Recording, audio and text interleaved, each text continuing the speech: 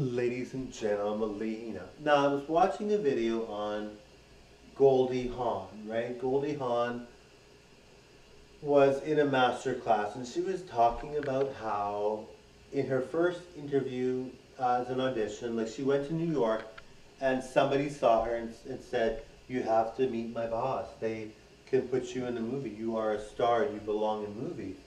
And of course, who wouldn't be excited about that? She was 19. She was very excited about it. She was looking very forward to it. So anyway, she met up with this guy that was the producer, and he was like, he had one leg. First of all, he had like a wooden peg leg for the other leg. But anyway, he had one leg. That's kind of outside the story, but um, but that's just what he was like. And so he was like, you know, and then he keeps like, I want to exhibit something more comfortable. So she's like, you know, feeling awkward about it, just like, why do you need to get something more comfortable? But she's like, whatever. Maybe he's just really trying to relax. Maybe he's tired, he had a long day, whatever. So she just ignored it. Then he's like, go over there and lift your skirt up. And then she's like, okay. And lift it up more and more and more. And it got to the point where she couldn't lift it up anymore without revealing anything. So she's like, I'm sorry, but I can't do this. I don't feel comfortable with this. And he's basically said to her, you're not going to be in film. You don't belong in film. You're not going to be any. You're not going to be anything in Hollywood. You know, get out, whatever. So anyway, at one point, she ended up being in movies and doing stuff, and so she ended up. Uh, I forget what the situation was. I think she was like, she had to talk to him about.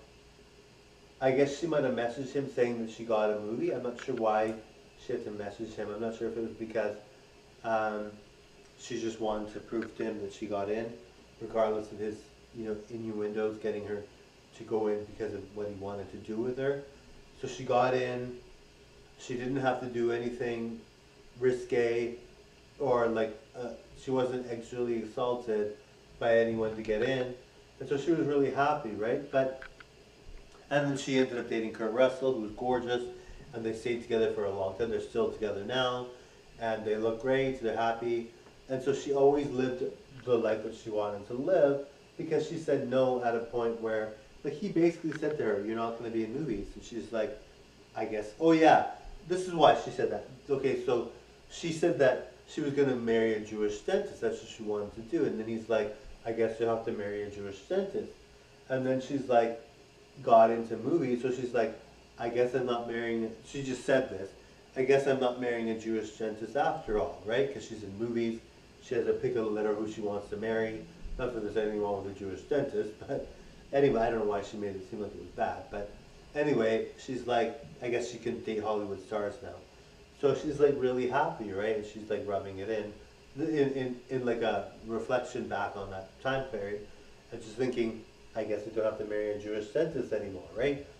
So anyway, the problem with Hollywood, there's nothing wrong with Hollywood, it's great, it's awesome, but a lot of people that are producers or film directors or whatever feel like they have to get with the actors or actresses because they're gorgeous. First, like she was gorgeous at the time, but anyway, they feel they have to do that because that what well like they would they would feel like what's the point of hiring somebody unless they're gorgeous and want to do something to get the role. And of course, you know, looking back on all this now, you know, with Harvey Weinstein, the Me Too movement, right? Like, uh, you know, people are like, oh, you know, now they're like, people can get in trouble for these things, you know? It's really kind of scary for a lot of people because they felt like, where are they going to complain? Who are they going to complain to, you know? There's no one they can complain to because these people choose the Hollywood movie stars. So they're like, there's no way I can complain. So, you know, it's really kind of nice to see the Me Too movement and people being able to make their say. You know, Goldie Hawn obviously was able to say that this is something that was really, you know, unfortunate that it happened. And who wants to be like in a movie because they did something they didn't want to do, right? Anyway, she got away. She was able to make her career happen without him. And she lived a happy life. She's still living a happy life. Anyway, totally enjoy. Bye now.